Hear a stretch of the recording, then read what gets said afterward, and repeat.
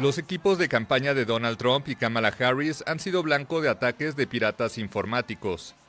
Google indicó el miércoles que el grupo de hackers APT-42 afiliado a Irán está tratando de atacar las campañas de los candidatos a la presidencia de Estados Unidos. La compañía precisó que ha bloqueado desde mayo numerosos intentos de conectarse a la mensajería personal de individuos asociados a las campañas. Los expertos en ciberseguridad de Google continúan observando intentos fallidos de APT-42 para comprometer las cuentas de personas afiliadas al presidente Joe Biden, a la vicepresidenta Kamala Harris y al expresidente Donald Trump.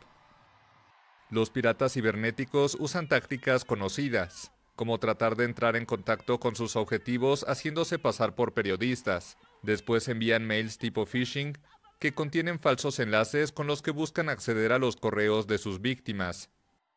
De acuerdo con Google, APT-42 es un grupo de ciberpiratas asociado a los guardianes de la Revolución Islámica, el ejército ideológico de Irán.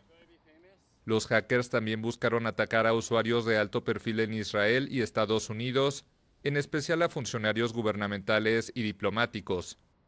Washington ha advertido a Teherán de consecuencias por tratar de ingerir en las elecciones presidenciales.